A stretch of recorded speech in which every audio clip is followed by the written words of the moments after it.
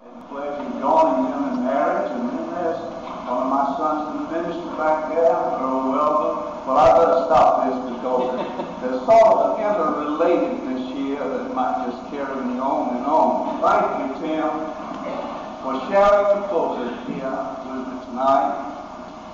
I'm deeply grateful for your kindness, for your hospitality to come once again to this place which means so very much to me and of course to my family. Three of my daughters were baptized here. My oldest granddaughter was baptized here. Maybe on down the road uh, again sometimes. So we are, we are indeed grateful. Well, I was first called pastor at Antioch. The church called for my ordination in the Hebrew Association just north and east of uh, Athens. And uh, my second year at Brewton Parker, I had accepted that church and the time was set uh, for me to be ordained that last Sunday night in November, before that uh, day of infamy, uh, a week later, Pearl Harbor. And so it was. I had hoped that this little blonde that had just enrolled at Brewton Parker would be able to come to the ordination service. I had been making trips to Atlanta to see a little blonde up there. I'm sort of partial to the blondes, wasn't that time. And Hilda Buford came up from Savannah. I learned as I got to know a little better, it's really from Pooler, Georgia. I wouldn't have known where that was. But anyway, back in those days, um, 50 years ago, I had my mother to call her mother to ask if she might come. And I had two sisters, and be fine. And after the ordination service, we could go back down to Brewton Parker. And I didn't know until sometime later that uh, her mother, knowing that her daughter was a pretty girl and rather high-spirited, loved to dance, uh, she had uh, said, don't you run that boy's ministry now. Stay away from him. because the adage in that day, Tim, was that you couldn't uh, have a dancing foot and a praying knee growing on the same limb. but of course, she thought a little bit more of me than she did dancing, and I let her into the praying department. Being here for that period of time, as Brother Tim has mentioned, we um, one day had one of the deacons say to me, uh, Pastor, did you know that uh, Mrs. Brackett, who was a member of the choir at that time, that she doesn't close her eyes while you're praying? I said, that's special. That's special. He said, how so? I said, it says in the scripture, watch and pray. and Hilda was watching you folks that I pray for you. It'll stay a long time. You watch and watch and while you pray. well, there's so many things that happen here. We're going to get to the important part of the service today, but I did want to take just a little personal time here.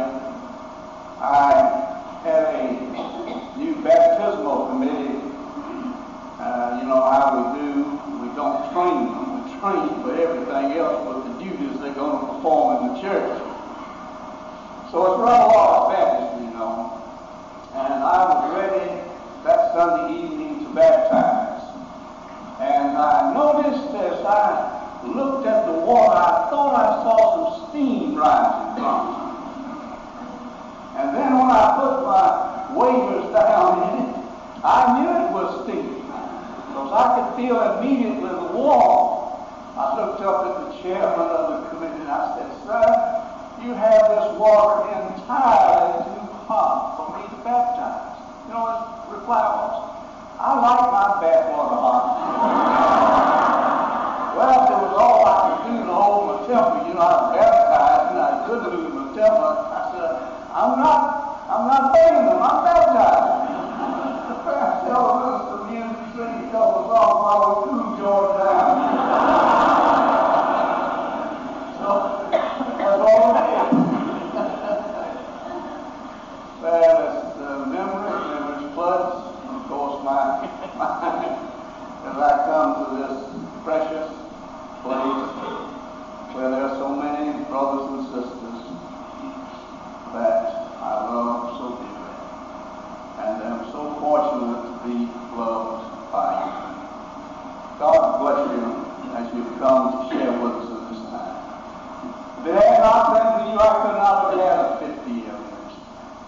Because uh, your patience and prayer and love have sustained me uh, most of those 50 years.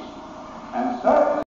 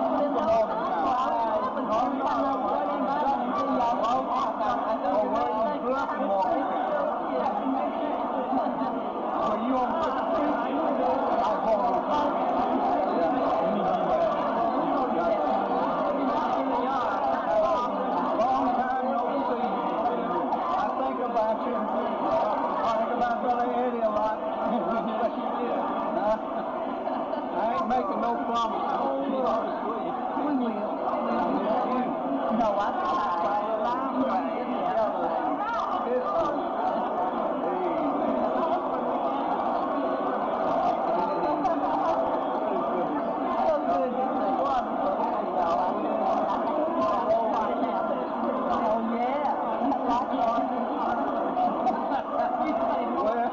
Yeah.